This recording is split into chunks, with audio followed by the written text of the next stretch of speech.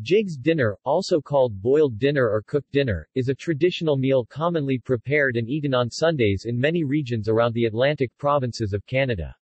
Corned beef and cabbage was the favorite meal of Jiggs, the central character in the popular, long-running comic strip, Bringing Up Father, by George McManus and Zeke Zekley after whom the dish is likely named. The name of the dish is also occasionally rendered as Jigs dinner or Jigg's dinner. In the rendering, Jigg's dinner. The apostrophe is incorrectly placed if in reference to the McManus character. Sometimes referred to colloquially as J.D. Quote, comma, quote. Jiggs dinner, is the most common of all renderings. Ingredients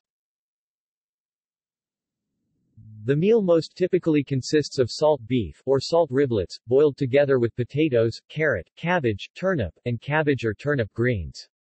Pease pudding and figgy duff are cooked in pudding bags immersed in the rich broth that the meat and vegetables create.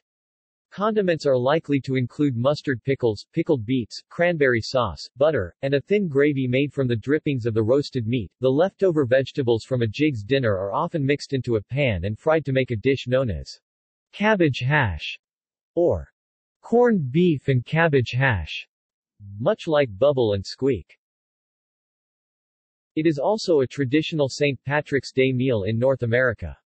Many restaurants serve Jiggs dinner on and near March 17. It differs from other forms of the meal in that it includes corned beef, carrots, cabbage and potatoes. See also Caspar Milquetoast Corned beef Dagwood sandwich Welsh rarebit New England boiled dinner Popeye spinach. References. External links. Newfoundland holiday traditions